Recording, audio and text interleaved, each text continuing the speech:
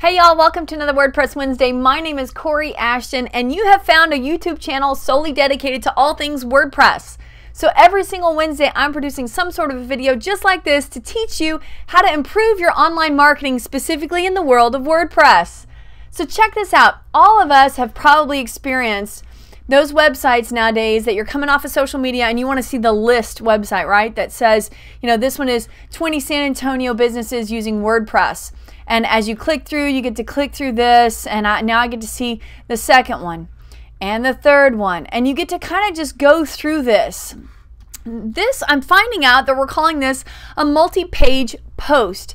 Basically, you want to figure out how to turn one blog post into multiple pages for people to easily click through. Now, the reason why you might want to do this is if you have maybe a 2,000 word blog article that's very extensive and long, and for some reason you think that you're seeing people drop off, the user experience is not great. So you kind of want to break that into chunks, but you don't want to go to the trouble of actually creating three or four different blog posts. There's no reason for that because there's a simple, super easy fix. Here it is. Are y'all ready for this? Here we go.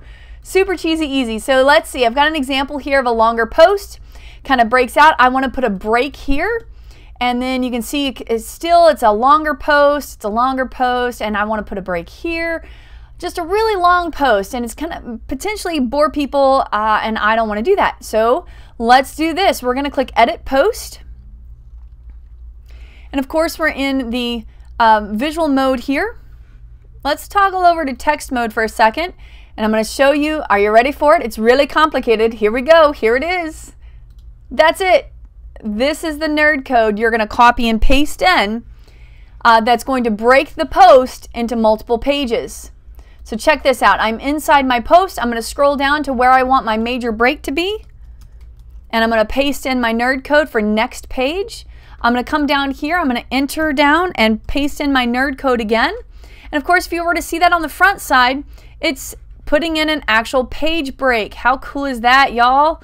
So I'm going to click update and check out what it did for me. And this is also going to vary just a little bit with how your theme is going to make it look because your theme will apply this.